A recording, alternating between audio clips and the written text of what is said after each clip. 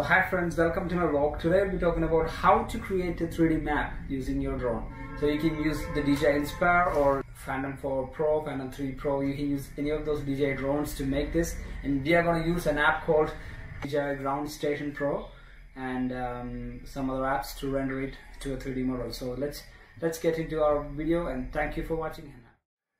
So apps like Drone Deploy and DJI's Ground Station Pro have these awesome features that will allow your drone to fly autonomously in a specified area in the app and take photos around it and you can upload it to the server and they will give you a 3D map of the area. Awesome feature isn't it?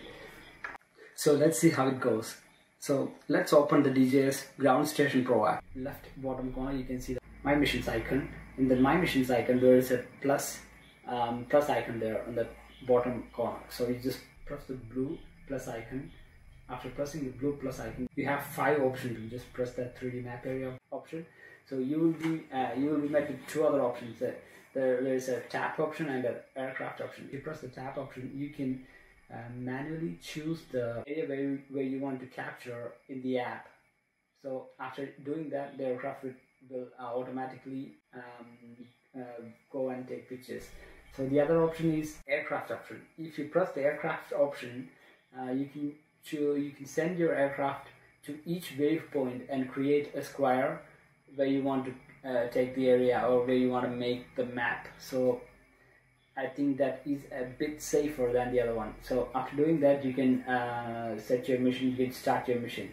So after creating the waypoints, after flying the aircraft to each of the waypoints and creating the waypoints, you can create, uh, you can start the mission by pressing the blue aircraft icon on the top right hand corner of the app and um, you can start your mission. And uh, when the mission is going on make sure that the altitude and the speed is set uh, to a right right speed because if it's too fast uh, the aircraft will have problems with uh, while taking pictures so keep it to a minimum speed and uh, the altitude should not be too high or too low. If it's too high, the resolution will be lower.